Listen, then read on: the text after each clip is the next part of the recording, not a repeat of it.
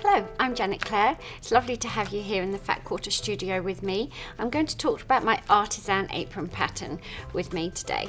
Um, this really came about because I was working from home. And I had a little room off the kitchen and I've got two boys. And uh, work for me, I'm very spoiled. Work is sewing and drawing and um, it's a lot of fun. So what happens when you've got fun things to do? You tend to leave them until all your chores are done.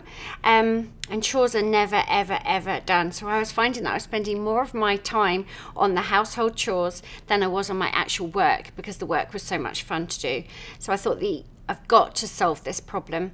And the easiest way to feel like you're at work is if you have a specific uniform to wear when you were there.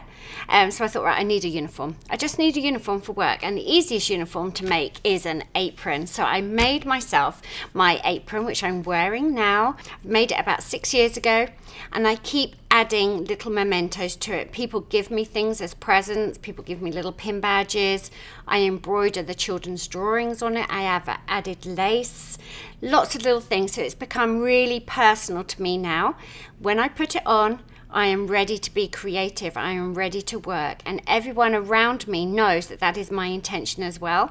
So I really, really strongly suggest you make yourself an apron and then when you wear it you have promised yourself you're going to do your fun things and not your chores and everyone will leave you alone so you can enjoy your time okay so this is what it is You've got the full size dressmaking pattern. It's all been professionally graded in London and it comes up from small, which I'm wearing, to a 4XL, which will fit a US size 36 or a UK size 32. So it really does fit everybody, and you can embellish it and add to it as much as you like and inside you've got detailed instructions and lots and lots of colour photographs of the details that I've added to mine so you've got some inspiration to start you on your artisan apron journey and children need to have fun too and they get messy when they're doing it so I brought along a child size apron now. There's a child size artisan apron. It's exactly the same style